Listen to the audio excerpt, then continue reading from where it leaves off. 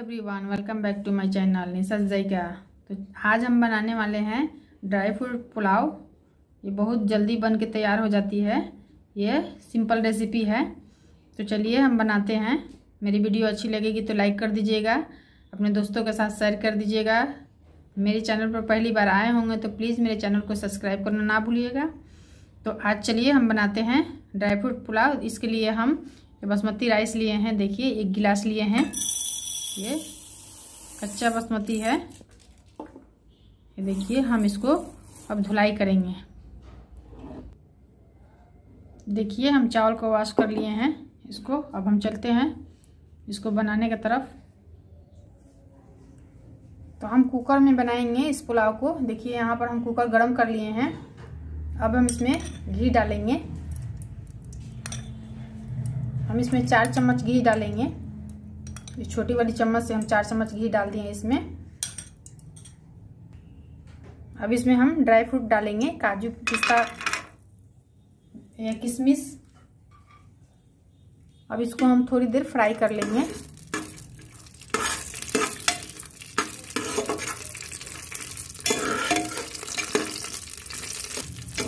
देखिए, हम इसको फ्राई कर लिए हैं। अब इसमें हम चावल डालेंगे। अब इसमें हम चावल डालेंगे। ये चावल को हम धो लिए थे। अब इसमें हम डाल देंगे।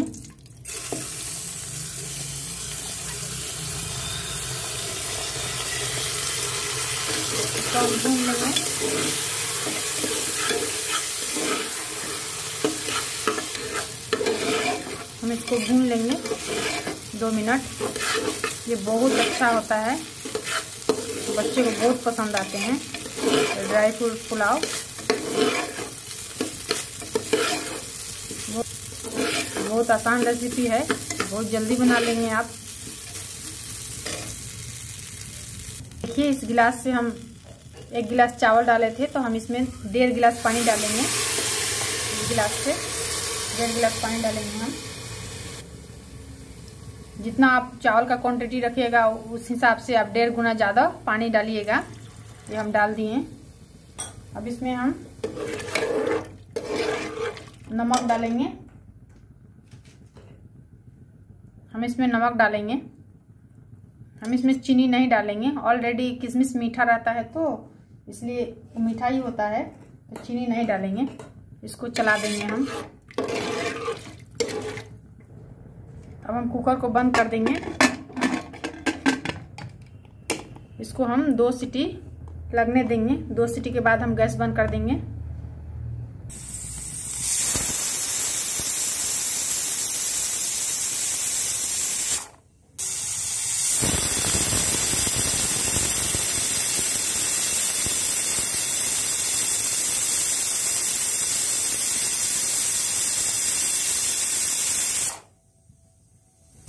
तो यहाँ पर दो सीटी लग चुकी है।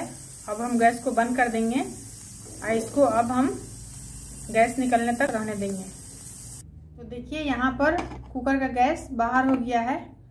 अब हम कुकर को खोलेंगे, चेक करते हैं। देखिए, ये बन के तैयार हो गया। ये देखिए। ये खिली खिली चावल है। हम इसको चेक करके दिखाते हैं। ये देखिए, सीज गया है।